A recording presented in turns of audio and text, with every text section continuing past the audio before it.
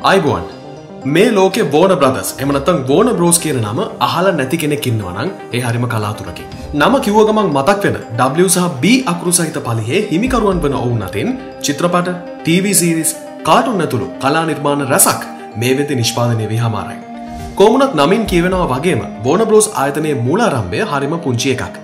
චලන රූපවලට ලොකු ආසාවක් තිබුණු සොහයුරන් හතර දෙනෙක්ගේ එකතුව එහි මූලාරම්භය සනටුහන් කලා. කාලාන්තරයක් පුරාවට විධ කලාංශවල ප්‍රමුඛයන්ට තරගයක් දෙමින් තමන්ගේම අනන්‍යතාවයක් හදාගෙන. ඊට පස්සේ ඒ ලෝකයේ පවතින දැවන්තම මාධ්‍ය සමාගමක් බවට පත්වුණු කතාව ඇත්තටම පුදුමාකාරයි.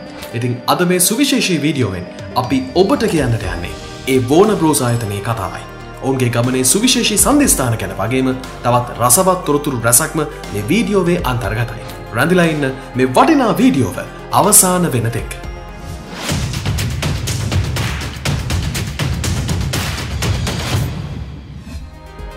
අංක එක රුසියාවෙන් ආපු වොන්ස් කොලාස දහ අටවන ශතවර්ශය අගභාගේදී රුසියානු අධිරාජය ජීවත් වුණු බොන්ස් කොලාස යුවලට හැරි ඇල්බට්සා සෑම් නමින් පිරිමි දරුවන් තිදෙනෙක් ලැබුණ. පසුව ඔවුන් දරුවනුත් එක්ක කැනඩාවට සංක්‍රමණය වෙනවා.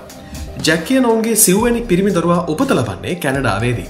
කැනඩාවේදී ඇංගලිකානු ක්‍රමයට නම් මාරු කර ගැනීමෙන් පසුව ඔවුන්ගේ වාසකම බොන්සල් බවටත් ඊට පස්සේ බෝන බවටත් මාරු කෙරුණ.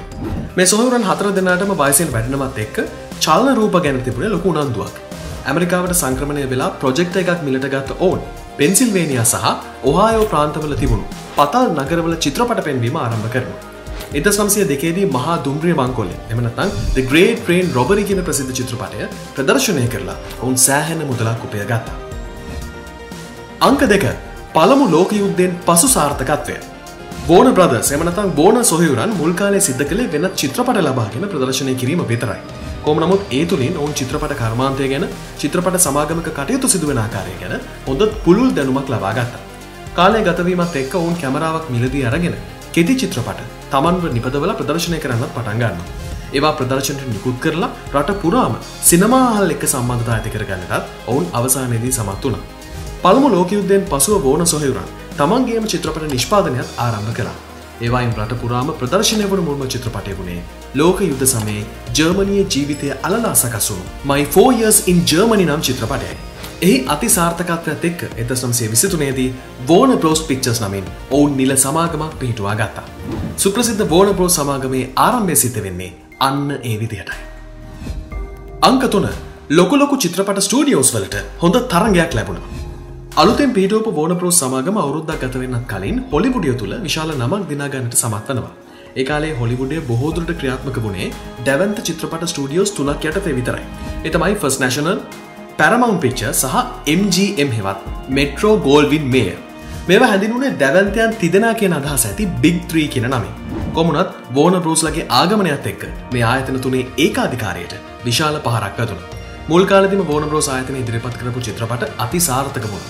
ලෝක යුද්ධ කාලේ ප්‍රංශය උපත ලබපු බල්ලෙකැන් නිර්මාණය වුණු. ව්‍යාද නෝත් බිගින්ස් කියෙන චිත්‍රපටයෙන් ඔවුන් විශාල ලාභයක් උපයා ගැනටත් සමත් වුණා. කොමනත් එදස්ටම්සේ විසි හතරේදී මුළු ලෝකයම වැඩිම ආදායමක් ලබපු චිත්‍රපටය වුණේ බෝන බ්‍රෝස් ආයතනයේ ද මැරේජ් සර්කල් කියන චිත්‍රපටය.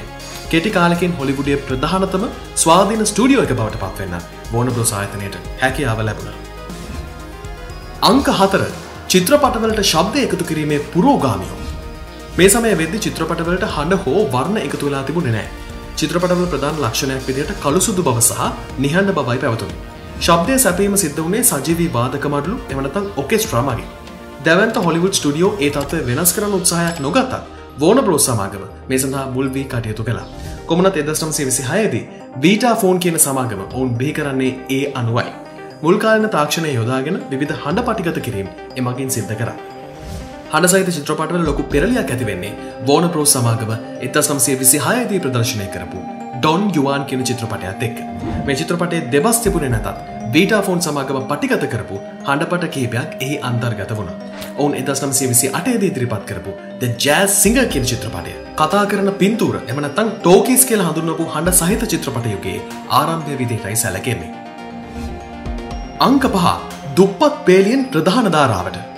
මුල්කාන චිත්‍රපටවලින් ලොකු සාර්ථකත්වයක් ලැබුණත් බෝනපරු සමාගමේ නරමන්නන් බොහෝදුරට අයත්වුණේ වැඩ කරන පන්තේටයි.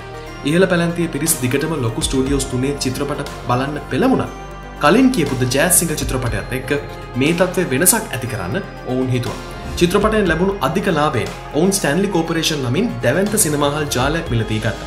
ලොසන්ජලිස්හි බර්බෑක් නගරේ දැවන්ත ස්ටඩියෝ එකක් ඔවුන් ගොඩනංවන්නේ එයින් පසුව. ස්ටන්ලි කෝපරේෂණ ඒවෙදි ලොකු ස්ටඩියෝ තුනෙන් එකක් වූ ෆස් නැශනල්හි කොටස් හිමිකරගෙන හිටි. මෙනිසා වෝනබරෝ සමාගම දැවන්ත මුදලක් එවලා ඒ කොටස් සියල්ලම මිලදී ගන්නත් කටයුතු කලා ලොකු ස්ටඩියෝස් තුනෙන් එකක් තමන්ගේ ව්‍යාපාරික සහකරුවක් බවට පත් කරගන්න ඔවුන් සමත් වනේ අන්න ඒ විදිහටයි. එයින් පසේ වෝන බ්‍රෝස් ෆස් නැශනල් ඒකාබද්ධව ලයිස් of නිවියෝක් කෙන චිත්‍රපටය ප්‍රදර්ශනය කරනවා. එහි සාර්ථකත්වයෙන් පසේ නිහන්ඩ සිනමාව සම්පූර්ණයම වගේ අතුරු දහන් වෙලා ගිය. අංක හය ලූනී ටියවුන් සමඟ කාටුන් ලොවට. සජීවී නළුනිලියන් සහිත චිත්‍රපටවලට අමතරව එතස් නම්සේ තිය දශකයේදී කාටුන් වලටත් ලොකු ඉල්ලුමක් නිර්මාණය වෙන්න ගත්තා. කාටුන් චිත්‍රපටවල ඉහලින්ම සිටිය බෝල්ට ඩිස්නි මහත ආරම්භ කරපු බෝල් ඩිස්නි සමාගම. කොම නමුත් කෙටි ධාවන කාලයක් සහිත කාටුන් නිෂ්පාදනය කරන සමාගම් ගණනාවක්ම එවිදි බිහි වෙලා තිබුණ.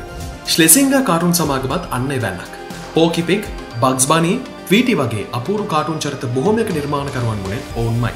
එද සම්සේ හතලිස් දෙකේදී ඔවුන් ටිකට් අලවයාතින් වෝල් ඩිස්නි සමාගමත් අභිවා ගොස් තිබුණ. වෝන බ්‍රෝ සමාගම මේ කාටුන් චර්ත සියල්ලමත් එක්ක ශ්ලෙසිංග ආතන මිලදී ගන්නේ එද සම්සේ හතලිස් හතරේදී. එන් පසු ඔවුන් ලූනී ටියවන්ස් කියන බ්‍රන්ඩ් යටතේ උඩා ප්‍රමාණය වර්ණ කාටුන් විශාල ප්‍රමාණයක් බිහි කරන්නත් සමත් වනවා ඩිස්නි සමාගමේ කාටුනත් බෝන බ්‍රෝ සමාගමේ ලූනී ටියවන්ස් කාටුනත් අතර තිබුණු වන්ද තරගය ඇමරිකානු ඇනිමේෂන් කලාවේ ස්වර්ණමය යුග විදිහටයි අදටත් සැලකෙන්නේ. අංක හත රූපවාහිනයේ තර්ජනය තමන්ගේ වාසියට පෙරලාගත් හැටි. මුල්කාලිනව රූපවාහිනින් විකාශනය කරන්න පුළුවන්ගුණේ සජීවීව ඒ මොහොතේ ලබාගනා දර්ශන පමණයි. ටෙලි විෂන් කියන වචනය බිහිබුණත් මේ විදිහට දුරින් ඉඳල සිද්ධ වෙන දෙයක් දැකියම කියෙන අදහස ඇතිවයි. කෝමනත් පසුව චිත්‍රපට සඳහා යොදාගන්න සයා පටලවල මේ දර්ශන පටිකත කරලා ඒවා පසුව විකාශනය කිරීම තාක්ෂණය විහිබුණා. ඒකම චිත්‍රපට කර්මාන්තයේ මළගම අතළඟයි කියලා බෝධනෙක් හිතන්න පටන්ගත්තා. මෙනිසා චිත්‍රපට ස්ටඩියෝ රැසක්ම තමන්ගේ නලු නිලියන්ට රූපවාහිනයේ පෙනී සිටීම පවා තහනම් කලා. කොමුණත් අපුරුම කාරණය කියල කියන්නේ වෝන බ්‍රෝස් මේට එරහි වෙන්න යනවා වෙනුවට කළේ එ තමන්ගේ වාසයට පෙරලගත් එකයි. ඔවුන් ABC රූපවාහිනි ආයතනයට තමන්ගේ ස්ටඩියෝ එක නිෂ්පාදනය කරපු කුඩා කතාංග දිරිපත් කලා. පසුව වෝන බ්‍රෝස් ටෙලිවිෂන් නමින් වෙනම සමාගමක් බිහිවුණේ එහි ප්‍රතිඵලයක් විදිහටමයි. අද අපි කවුරුද්දන්න TV සිරිස් කලා බිහි කරන්න වැඩිම දායකත්වයක් ලබා දුන්නේ වෝන බ්‍රෝස් ටෙලිවිෂන් සමාගමයි.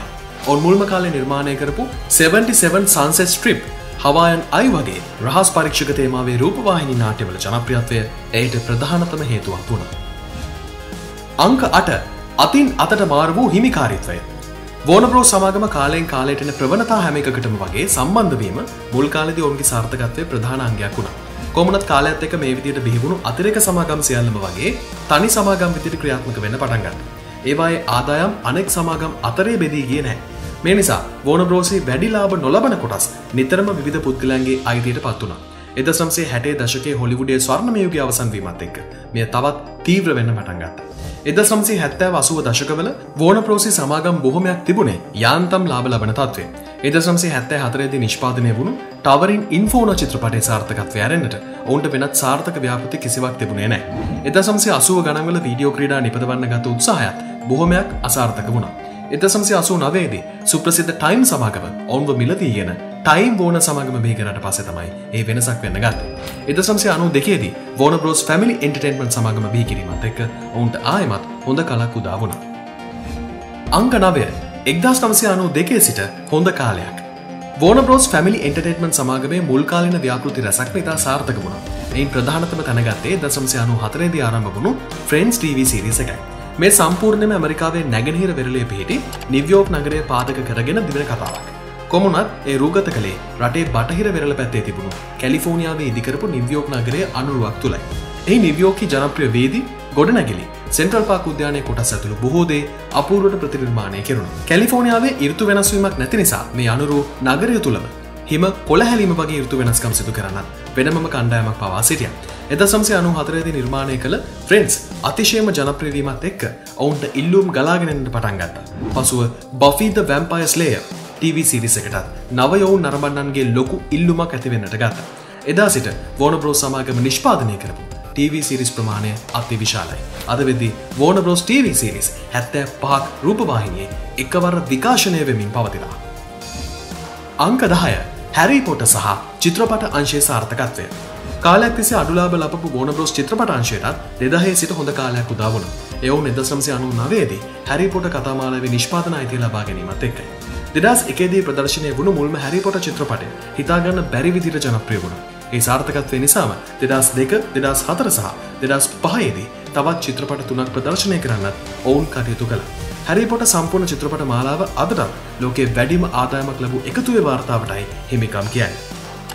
හැරිපොට චිත්‍රපටවලින් ලැබුණු දැවන්ත ආදායමත් එක්ක වෝන බ්‍රෝස් නැවතත් අධික ලාබලබන චිත්‍රපට නිපදවීම ආරම්භ කලා ඔන්ගේ දෙදස් පහේද ආරම්භ කරපු බැට්මන් චිත්‍රපට පෙලා DC යුනිවර්ස එකේ චරිත ඇසුරෙන් නිපදවූ අනෙක් චිත්‍රපටත් අති සාර්ථක වුණ.